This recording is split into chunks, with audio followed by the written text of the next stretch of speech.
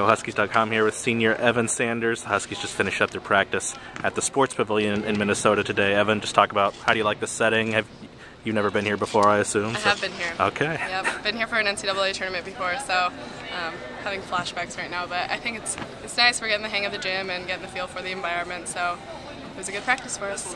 All right. Um, what are some of the things you guys are going to need to focus on for Western Michigan tomorrow? Um, we're still focusing in on some of the scouting reports, so we're still figuring out what they're doing. We've seen a little bit of what they do, um, and I think we're just gonna keep figuring those things out, see their tendencies, and um, I think then tomorrow we will dive into some more of those tendencies at practice. But yeah, still got to see those scouting reports. All right. There's a little snow on the ground, a little, it's a little chill in the area. Does that take you back to home a little bit? It does, home sweet home, but.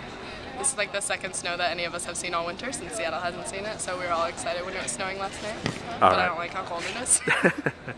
okay. Well, stay inside then. Yeah. Right, thanks, Evan.